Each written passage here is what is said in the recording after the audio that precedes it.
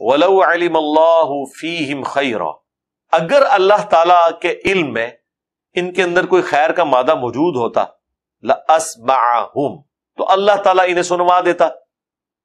वलऊ असमाहुम लतवल्लू वहुम मुरिदून और अगर ये बात सुन भी लेते, तब भी वो पीठ फेर ही देते, रूगरदानी ही की रविश इख्तियार करते। ये होता है पॉइंट ऑफ़ नो रिटर्न कि जब कोई शख्स गुमराही के इस लेवल पे पहुँच जाए कि अल्लाह ताला बार बार गुमराही के सबब उनके ऊपर मोहर सब्त कर दे। खत्म अल्लाहलूबहिम वाला तो फिर अल्लाह ताला फरमाता है, अगर हम चाहते ना कोई इनमें खैर की रत्ती होती तो हम इन्हें ज़बरदस्ती सुनवा देते और हमारे ज़बरदस्ती सुनवाने से भी कुछ नहीं होना।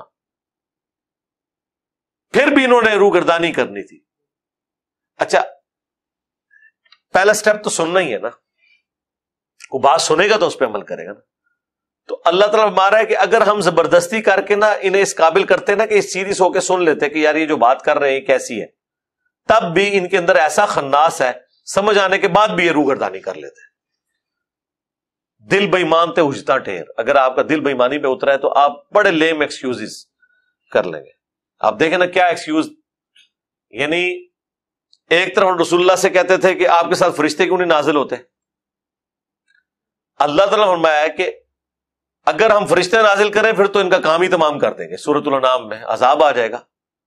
सूर्य बनी इसराइल में अल्लाह तला फरमाया कि अगर ज़मीन पर फरिश्ते आबाद होते तो फरिश्तों में पैगंबर आता।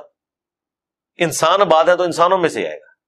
और आप ये बात याद रखें, अगर फरिश्तों में पैगंबर आता तो इन्होंने कहना था, हम तो इंसान है, कोई इंसानों में से बंदा निकाले। हाँ हर चीज़ के तोड़ में कोई ना कोई जवाब तो मौजूद होता है। और ये अल्लाह ने कुरान में ज़िक्र किया कि अगर हम इनकी बात मान भी लें तब भी ये फिर उसी मुगालते में पड़ जाएँगे जिसमें है।